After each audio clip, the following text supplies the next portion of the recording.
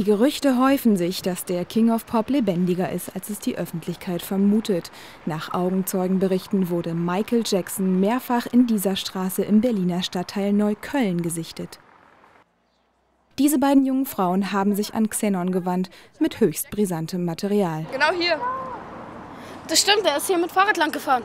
Ich habe sogar auf meinem Handy. In der Tat, die Gestalt auf dem Fahrrad hat große Ähnlichkeit mit dem King of Pop. Doch das reichte unserem Kamerateam nicht als Beweis. Wir haben auf eigene Faust recherchiert und dabei Erstaunliches herausgefunden. Fuck!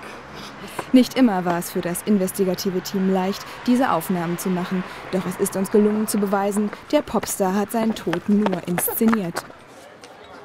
Thank you, I love you.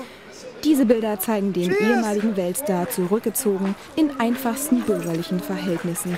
Auch neue Freunde hat Michael bereits gefunden. An der Küste teils frisch, aus Südwest bis West.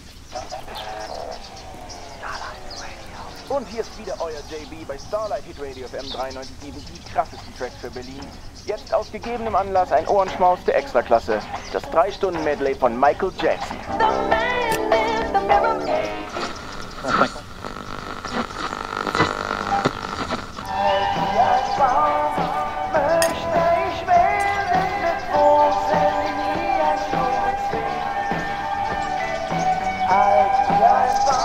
Xenon hat sich auf die Suche gemacht und einen neuen, einen glücklicheren Michael gefunden.